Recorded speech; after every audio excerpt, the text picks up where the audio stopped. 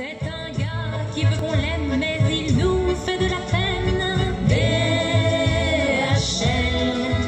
il parle au nom d'Israël, des blatères sur les antennes. Pourquoi tant de haine?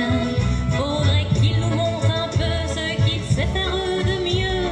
BHL, que le mépris, l'anathème